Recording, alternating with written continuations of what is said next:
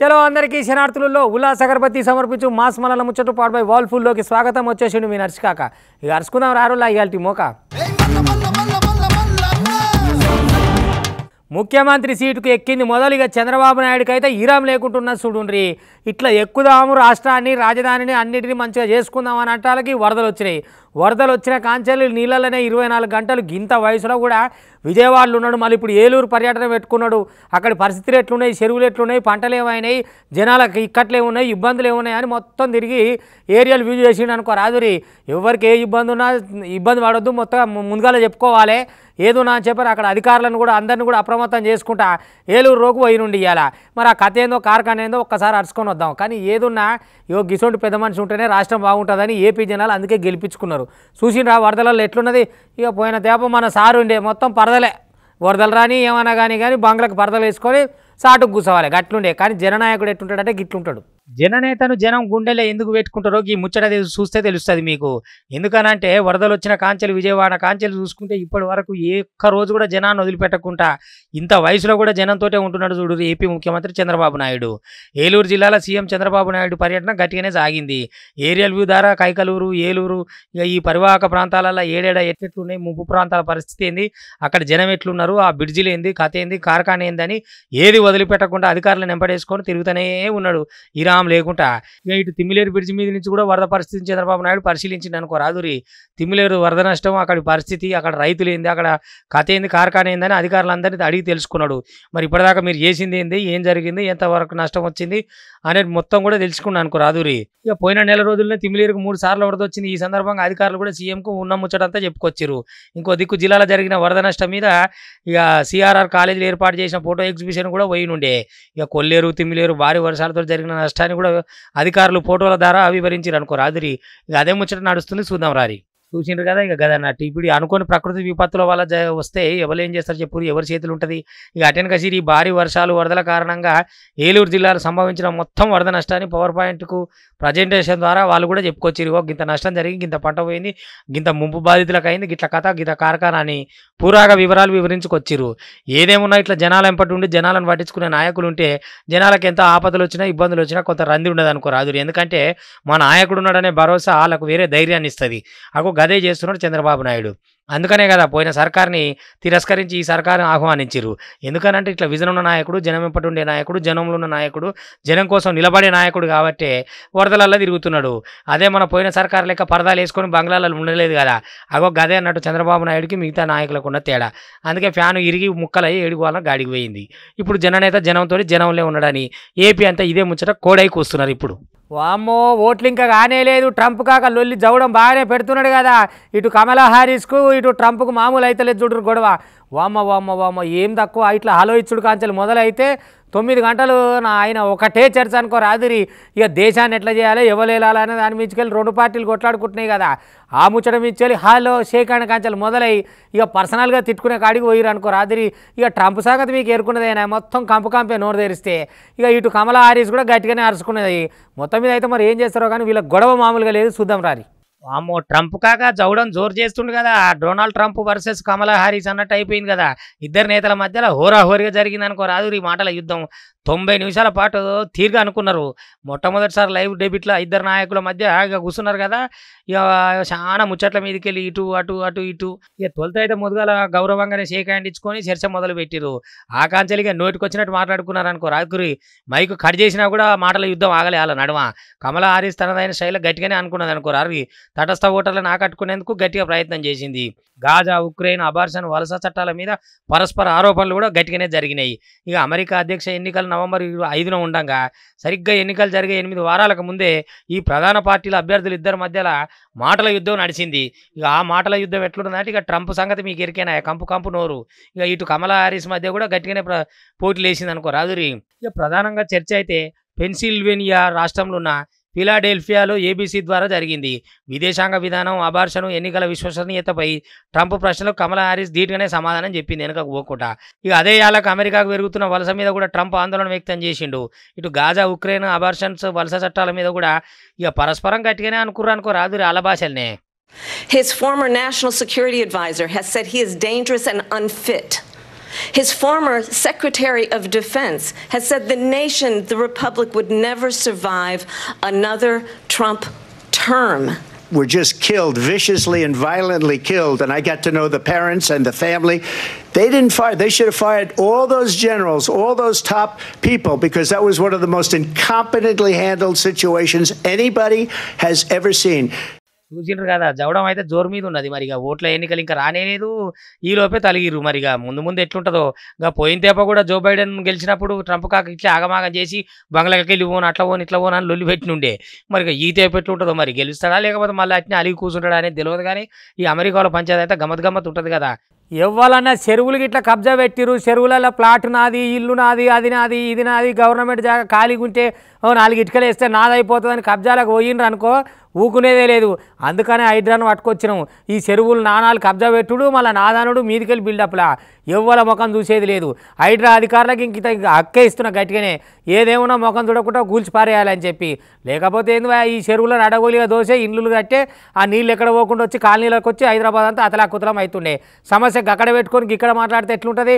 అందుకనే చెప్తున్నా వెనక దయ చూసుడు వెనక పోవుడు. వీళ్ళు మా వాళ్ళు వాళ్ళు మీ వాళ్ళు గీయస్తుంటే ఏం లేవు. చెరువులను ఎవరు కబ్జా పెట్టినా ఊకునేది లేదు. చెరసాలకు పంపుడే అని అంటున్నాడు. ఇక చూద్దాం రారి. ఏ ఊకుండు ఎక్కడిది ఊపిసి పెట్టుడే ఏం సంగతి ఎట్లా సంగతి? చెరువులు అడగోలే దోసుకుంటేందుకు చెరువు ఏమన్నా మీ అయ్య సొత్తా అమ్మ సొత్తా? ఆ ఇష్టం వచ్చినట్టు కబ్జాలు పెట్టి ఇండ్లు కట్టి ప్లాట్లు కట్టి ఆగమాగం చేస్తే మేము వచ్చే చూస్తుండాలనా? ఇది చూడురి ఇట్లా అక్రమంగా కట్టబట్టే కదా అతలాకుతలం అవుతుంది హైదరాబాదు. ఒక్క వాన పడితే చాలు ఘోరతి ఘోరం అయిపోతుండే నీళ్ళు పోయే జాగలంగా ఇండ్లు కట్టుకొని మళ్ళీ నీళ్ళల్లో నీళ్ళు ఇండ్లలోకి వచ్చినాయి. మాకు ఇది కూలిపోయింది అది కూలిపోయింది ఈడ మునిగి ఆడ మునిగి అంటే మరి గిసొంటివే. ప్రకృతిని ప్రకృతి లెక్క కాపాడాలి. కాపాడకుండా ఇష్టం వచ్చినట్టు చెర్లు కబ్జా పెడతాము ఆడ తీసుకొస్తాము ఈడ తీసుకొస్తాము. ఏం మీ అయ్యా జాగిరా ఎవరిని ఇడిచిపెట్టేది లేదు. హైదరాబాద్ తీసుకొచ్చినాం కావాల్సినంత పర్మిషన్ కూడా ఇచ్చినాం. వాళ్ళు కఠినంగానే ఉంటారు. అయ్యో రామ అయ్యో దండవు తల్లి అంటే ఎవరు వినరాళ్ళు. ఇంటందుకు పెట్టలే మేము హైడ్రాని అడ్డగోలుగా భూమిని దోసుకొని దాచుకుంటే ఊకుంటాం చూసుకుంటా.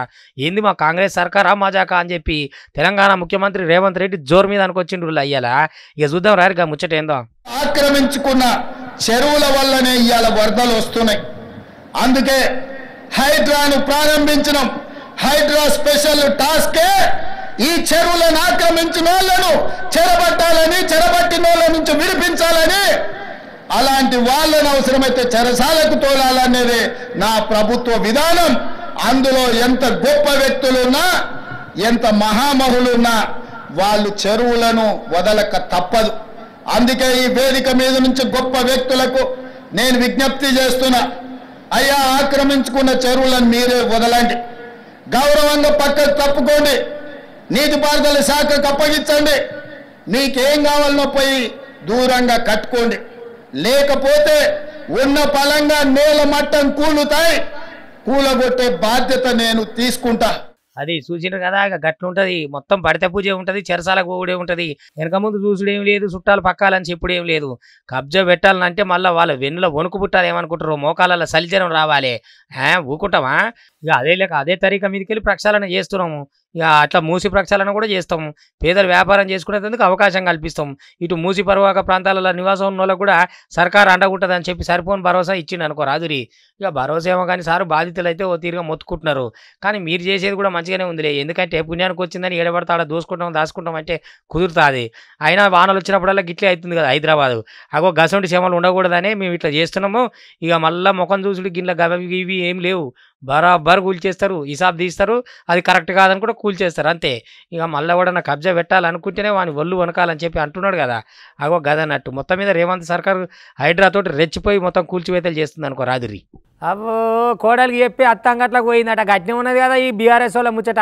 మీరు చేసింది ఏందే తాత? అప్పుడు మీరు చేసుకోలేదా? పార్టీ ఫిరాయింపులు మీరు చేయించుకుంటేనే ఒక లెక్కన? కాంగ్రెస్ పార్టీ చేస్తే ఇంకొక లెక్కన? ఇక మీరు పార్టీలు ఫిరాయించేటోళ్ళకు ఆడకి ఉప ఎన్నిక వస్తుంది. మేము ఆడ మాట్లాడినా వీడ మాట్లాడినామని కానిపోని కూతలతోటి తయారుకున్న వాళ్ళని బెదిరిస్తున్నారు. మీరు ఏం టెన్షన్ వరకు ఇప్పటిదాకా పది మంది వచ్చారు కదా ఇంకా కూడా వస్తారు. మీరు గీదానికి భయపడతా అనవా నేను మీకు ఇటువంటి బెదిరింపులు నేను అసలే పట్టించుకోనని ఖైరతాబాద్ ఎమ్మెల్యే దానం అనుకొచ్చాను అనుకో రాదురి. ఎందుకనంటే ఇక ఈ నడుమ వాళ్ళు కోర్టుకు పోతాం అది చేస్తాం ఇది చేస్తామని ఏమేమో లెక్కలు ఇచ్చారు కదా పార్టీ ఫిరాయింపుల మీద. మరి మీరు చేస్తే ఒకటి మేము చేస్తే ఒకటి అని సరిపోనే అంటున్నాడు దానం అన్న. ఒకసారి చూద్దాం రా ముచ్చటేందో. ఏ మొత్తం నాకు ఎరికే పూరా మేరకు మాలం బీఆర్ఎస్ పార్టీలో ఆఖరికి మిగిలేది ఆ ముగ్గురే. ఎవ్వరు ఉండరు నాకు తెలుసు. అని చెప్పని ఖైరతాబాద్ ఎమ్మెల్యే దాన నాగేందర్ అని అనుకొచ్చిన అనుకో రాదురి. పార్టీ ఫిరాయింపులను ప్రోత్సహించింది ఎవరే? ఇవాళ మాట్లాడుతున్నారు సో దప్పు సముచ్చట్లు. ఆపోతే నుంచి పార్టీలకి వెళ్ళి ఇళ్ళకెళ్ళి అండ్లకెళ్ళి ఓ ఆవు మేళ్ళ కండవలు వేసినట్టు వేసి గుంజుకున్నది ఎవరు మీరు కాదా? ఇవాళ కాంగ్రెస్ వాళ్ళు గదే పని చేస్తే మీకేమో నొప్పి అనిపిస్తున్నది. అప్పుడేమో తప్పు అనిపించలేదు ఒప్పు అనిపించింది. ఇప్పుడేమో తప్పు అనిపిస్తున్నది నొప్పి అనిపిస్తున్నది. ఎవరికి తెలియదు ఆయన మీ ముచ్చట్లు? అని చెప్పి జోరుగానే అనుకొస్తున్నాడు కదా ఖైరతాబాద్ ఎమ్మెల్యే దానమన్న. ఇక ఎందుకనంటే ఆయన కాంగ్రెస్లోకి చేరినాక ఇక వీళ్ళు కోర్టుకు పోయి ఆడికి పోయి అట్లా పోవద్దు ఇట్లా పోవద్దు అని ఇక ఇంకా వచ్చే ఎమ్మెల్యేలు ఉంటే వాళ్ళని బెదిరిస్తుంటారు కదా. ఆ ముచ్చట మీదకి వెళ్ళి నా మాట్లాడుకొచ్చింది అనుకో రాదురి. నా తప్పే ఉన్నదా? గయా పొద్దు మీరు చేసినప్పుడు ఏమి లేదా? అంటే మీరైతే చేర్చుకోవచ్చు కానీ కాంగ్రెస్ పార్టీలో అయితే చేర్చుకోకూడదా? మీకేమో రైట్ ఉన్నది కానీ వాళ్ళకేమో లేదా? మీకేమో ఇఫ్తా ఉన్నది కానీ వాళ్ళకి కాదా? అని మొత్తం కడిగి పారేసింది అనుకో రాదురి. ఒక పారి అరుచుకుందాం రారి ఆయన మాటలలోకి వెళ్ళి ఏమంటుండు ఏం సంగతి ఎట్లా ముచ్చట అనేది. పార్టీ ఫిరాయించారని బీఆర్ఎస్ పార్టీ నాయకులు ఏదైతే మాట్లాడుతున్నారో దయ్యాలు వేదాలు వహించినట్టు ఉన్నాయి వారు నేర్పిన విద్యనే వారు నేర్పించినటువంటి సంస్కృతే కాబట్టి దీనికి తెరలేపింది ఎవరు గతంలో? అది ఒకసారి ఆలోచించుకోవాలి. గురిగింజ కింద మచ్చ ఉంది అనేది గురిగింజకు తెలియదంట. అందుకని అలాగా చేస్తున్నారు వాళ్ళు వాళ్ళు ఎన్ని మాట్లాడినా దానికి సరైన సమయంలో మేము ఎట్లా చెప్పాలో చెప్తాం కానీ వాళ్ళు విశ్వాసం కోల్పోయారు. వాళ్ళ ఎమ్మెల్యేలు వాళ్ళని నమ్మరు ఓడిపోయిన ఎమ్మెల్యేలు నమ్మరు. ఈ పరిస్థితి ఉంది కాబట్టి మీరు ఆలోచించాలి ఆలోచించి ఏదైనా జరిగినా కూడా అప్పుడు జరిగినప్పుడు దానికి సంబంధించినటువంటి ఇష్యూలో మేము అన్నిటికీ సిద్ధంగా ఉంటాం. అన్ని పోరాటాలు చేసే ఈ స్థాయికి వచ్చాం కాబట్టి పోరాటాలు మాకేం కొత్త కాదు ఎన్నికలు మాకు కొత్త కాదు. మేము ఆరు సార్లు ఎమ్మెల్యే గెలిచాం ఒక్కసారి కాదు రెండు సార్లు కాదు. అందుకనే మాకు ఎన్నికలంటే భయం లేదు వాళ్ళకు భయం ఎన్నికలంటే. చూసిండ్రు కదా ఇక గద ఇక ఇప్పుడు ఆఖరికి మిలిగేది మీ ఆ పార్టీలో ఉండేది గాలే. వచ్చేటోళ్ళని మీరు ఏం బెదిరించినా భయపడతారు ఎవరు లేరు. ఇప్పటికే కాంగ్రెస్లో చేరే బీఆర్ఎస్ ఎమ్మెల్యేలను ఆపే ప్రయత్నం చేస్తున్నారు. ఇప్పటిదాకా పది మంది ఎమ్మెల్యేలు కారు దిగి అస్తంగూటికే వచ్చిండ్రు. ఇంకా మీరు ఆపితే ఆగేది కూడా ఏముండదు. ఆయనతో కూడా ఖాళీ అవుతుంది మీ ఖజానా. మీరు ఉరుకులాడకూరి ఆఖరికి మిలిగేది ముగ్గురే.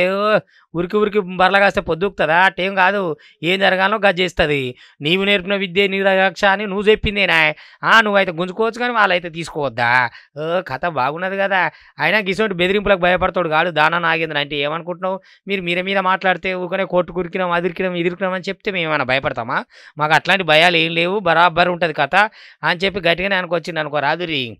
పేదోళ్ళ పెద్ద దవాఖానా ఏదైనా ఉందంటే హైదరాబాద్లో ఉస్మానియా దవాఖానా అనే చెప్పాలి. ఇక ఆడికి ఇప్పటికే వానలతోటి అడవైన రోగాలు వచ్చినుండే కదా ఈ సీజనల్ వ్యాధులతోటి ఇక పైసలు లేక చూపించుకోలేరు అంతా సర్కార్ దవాఖానకే పోతారాయే. ఆడికి పోయేసరికి ఏమున్నది? డాక్టర్ అయితే చూస్తుండ్రు ఆయన అయితే రాస్తుండు కానీ ఆ రాసిన వాటిలలో ఉత్తకొచ్చే మందులు అయితే లేవు. ఏందయ్యా అంటే మందుల కొరత ఉన్నది ఉస్మానియాలో. ఉస్మానియాలో మందుల కొరత ఉండేసరికి వాళ్ళు రాసిచ్చిన దాంట్లో ఒకటి దొరికితే దొరుకుతుంది. ఇక లేకపోతే మళ్ళీ ప్రైవేట్ పోయి కొనాలంటేనేమో ఈ పేదలతోటి బడుగులతోటి బక్కలతోటి ఏడైతుంది చెప్పుర్రి. ఇక సర్కార్ దు- దృష్టి కన్నా తీసుకుపోవాలి మరి. ముచ్చట మందుల కొరత ఏ నుంచి వస్తుంది ఎట్టు వస్తుంది అనేది తెలియదు కానీ ఇక జనమేమో ఇప్పుడు సీజనల్ వ్యాధులే. ఓ ఉరుకుతానే ఉరటాడికి ఉస్మానియాకు. ఇక మరి ఆడ మందులు ఏమో గిట్లున్నదట. కథ. ఆ మతలో తెలియాలి కదా మీకు అని చెప్పి పట్టుకొని వచ్చినా పోయిద్దాం రారు ఉస్మానియాకు. ఓ సినీ పాడు కానీ ఇట్లయితే ఇట్లా నువ్వు పేదల పెద్ద ఆసుపత్రి ఉస్మానియా దవాఖానలో మందుల కొరత ఏర్పడ్డదట. వందల సంఖ్యల జ్వరాలతోటి జనమేమో జోరు మీద వస్తున్నారు. ఇక అసలే సీజనల్ వ్యాధులే ఆగమాగం చేస్తున్నాయి. వాళ్ళకు ఉన్న దిక్కేందిగా ఉస్మానియా దవాఖానే కదా. సర్కారు ఫ్రీగా మందులు ఇచ్చే జాగా. దబ్బున పోవాలని వాళ్ళేమో వస్తున్నారు. ఇక వచ్చినప్పుడు డాక్టర్లు చూస్తున్నారు మంచిగానే రాస్తున్నారు కానీ ఒక రెండు మందులు గోళీలు మాత్రమే దొరుకుతున్నాయట. ఇక మిగతా అన్నీ మళ్ళీ బయటకు పోయి ప్రైవేట్ షాపులలో కొనాలంటే ఎంత ఇబ్బంది చెప్పు. అక్కడ ఉంటాయి ఉండయి. ఇక బాగా తక్లీఫే ఉన్నట్టున్నది మొత్తం. మీద అయితే హాస్పిటల్ కాగర ఇక ఇప్పటికే రోగులంతా "ఆ, పోయమ్మ మేము దవాఖాన ఉందనుకోని సర్కారు దవాఖాన అనుకొని వస్తే ఇక్కడ కూడా మందులు దొరుకుతలేవా చేతులట పైసలు లేవా ఎట్లా చేయాలని చెప్పి వాళ్ళు పరిశాన్ అవుతున్నారట పేదలంతా సతమతం అవుతున్నారు ఇక మేము సర్కారు ఆసుపత్రి కానీ వస్తే ఇక్కడ మందులు లేవా అని అంటుండే. బయట మెడికల్ షాపులలో కొనాలంటే యాడికెళ్ళి అవుతుంది మా తోటి అని చెప్పి రోగులు అనుకొస్తున్నారు. పొద్దుగాల తొమ్మిది గంటలకు వచ్చినాం. ఆ, ఇగో ఇప్పటిదాకా లైన్ ఒన్నో ఎండకపోతుంది లైన్ జరుగుతలేదు ఏం లేదు. ఇక్కడ మందులు కొంచెం ఇస్తారు మళ్ళీ ఏమైనా పిరేం అనిపిస్తే బయట తీసుకుపో. ఒకటి అంతే ఎక్కువ ఇయ్యరు. మొత్తం ఇయ్యరు. అసలు ఏం దొరకట్లేవండి మందులు. అసలు ఒకటి రెండు ఇస్తారు తర్వాత అన్ని బయటనే తీసుకోమంటారు. ఏంటంటే డాక్టర్స్ తోటి కన్సల్ట్ కానికే వస్తాం అంతే. టాబ్లెట్స్ అంటే ఇక గంటలు గంటలు పడుతుంది ఎప్పుడు. టాబ్లెట్స్ సరిగా ఉండయి కూడా ఉండయి. ఆల్మోస్ట్ బయటనే తీసుకుంటాం మేము. చూసిండ్రా గదన్నట్టు పరిస్థితి గట్లున్నది. ఎందుకనంటే ఇప్పుడు అసలే సీజనల్ వ్యాధులే ఇప్పుడు మందులు యాళ్ళకు దొరకకపోతే వాళ్ళు బయటకు బయటికి పోతే ఎట్లుంటుంది? వాళ్ళు వేలకు వేలు చెప్తుంటారు. గింత గోలికి అంత పైసలు గంత గోలికి ఇంత పైసలు అని. ఇక వాళ్ళు చెప్పిన రేటుకే కొనాలి అట్లా కొనాలంటే చేత పైసలు గిడికి ఎందుకు వస్తారు వాళ్ళు? ప్రైవేట్ దవాఖానలో పోకపోయినారు. సర్కారు ఉన్నది మరి సర్కారు దవాఖానలో చూపించుకోవాలి. సర్కారు దవాఖానలో కూడా సవలతులు అన్నిటికీ అన్ని ఉండాలి కదా అందుబాటులో. మరి ఈ సర్కారు దవాఖాన హాలత్ గిట్లుంటే మేము ఎటు పోవాలి? ఏం కథ? అని చెప్పని అక్కడ జనం అనుకొస్తున్నారు. మొత్తం మీద అయితే ఎక్కడ బాధలు అక్కడనే ఉన్నాయి చూడండి ఈ వానకాలమాయే ఆ డబుల్ రోగాలాయే ఆ ముసలోడు ముడుగోలుకి ఈ వైరస్లు ఏమో మీద పడిపోతుండే. ఎట్లా చేయాలి ఏం చేయాలని జ్వరం పరేషాన్లు ఉన్నారు జనం అయితే జ్వరం పరేషాన్ల అయ్యా ఏమున్నది ఇక ఇటు నిన్న గోదావరి కృష్ణ పొంగుడు వంగి కుంగుడు గుంగినే కదా ఏడు కాడికి. కానీ ఇప్పుడు అసలు కథ మళ్ళీ మొదలైంది. ఆ ఛత్తీస్గఢ్ రాష్ట్రాలకు వెళ్ళి మీది రాష్ట్రాలకు వెళ్ళి వరద మళ్ళీ మోపైందట వానలు బాగా కొట్టి ఇక ఈ సీలేరు ఆ నదులు గిట్లా ఉంటాయి కదా వాటి శబరి ఉపరి అన్నీ మళ్ళీ గోదావరికే వస్తున్నాయట. ఇక ఇప్పటికే ఖమ్మం జిల్లాలో అటు రాకపోకలు ఇటు మొన్నటిదాకా అతలాకుతలమే ఉండేనా? ఇప్పుడు వరదలు మళ్ళీ వస్తున్నాయట. ఇక అక్కడ జనాన్ని అప్రమత్తం చేయాలి సర్కారు దృష్టి పెట్టాలి. ఎట్లయితుందో ఏమవుతుందో అని ఊరు జనాలంతా భయపడుతున్నారట.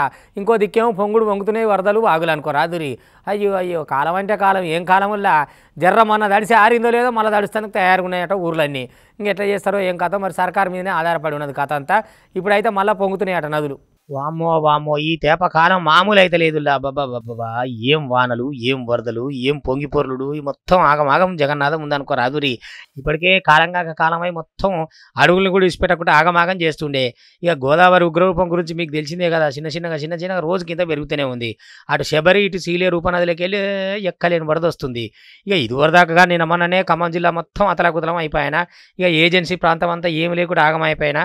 ఇక మళ్ళీ ఇప్పుడు మళ్ళా వరదలు పెరుగుతున్నాయి అనుకో రాదురి. ఇక ఆ దెబ్బతో అక్కడ జనం అంతా భయపడతా ఉన్నారు. నిన్న మననే పాటలు వాయ గొడ్డు వాయ గోదవాయ ఏదో అయ్యో దేవుడు అని కూడా బతుకుతుంటివి. మళ్ళా నదులు పెరుగుతున్నాయి రా నాయన ఏం చేయాలి? ఎవరు చూడాలి? ఎట్లా కావాలని అక్కడ జనం అయితే ఆగమాగం అవుతున్నారు రాజు. ఇక ఇప్పటికే భద్రాచలం కూనవరం మధ్య సంబంధాలు కూడా తెగిపోయినాయి. జనం ఇటొచ్చుడు అటు పోవుడు ఏది లేకుండా ఆగమాగం ఉంది. అటు స్కూల్ కూడా మూడు రోజుల నుంచి బందే ఉన్నాయి. బస్సులు అయితే వచ్చు లేదు పోవులు లేదు. ఇక అవతల యువతలకు పోయేది లేదు యువతలలో అవతలకు పోయేది లేదు. చాలా తక్లీఫులు అంటే మళ్ళీ ఇప్పుడు ఇట్లా అయిపోయాయి. ఇక చూడండి వరద పాడై ఎట్లా ఉందో కథ. ఇక గివన్ అటు వాటి ఉల్లాస అగరబత్తి సమర్పించు మాస్ మల్లన్న ముచ్చట్లు పాటు బై వాల్ఫుల్. చూస్తూనే ఉండరు మళ్ళీ రేపు ఇది వరదాకా మీ టీవీ ఫైవ్. ఇక ఉంటా